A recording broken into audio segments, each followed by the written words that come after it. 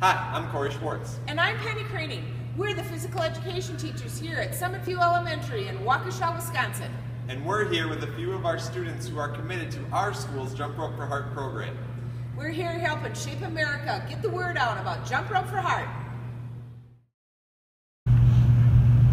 We get to participate in Jump Rope for Heart through our physical education class. Being active in our Jump Rope for Heart centers are a really exciting way to keep our own hearts healthy and for our friends and families who have troubled hearts. We're jumping for more BE. We, the more we are active, the healthier our hearts become.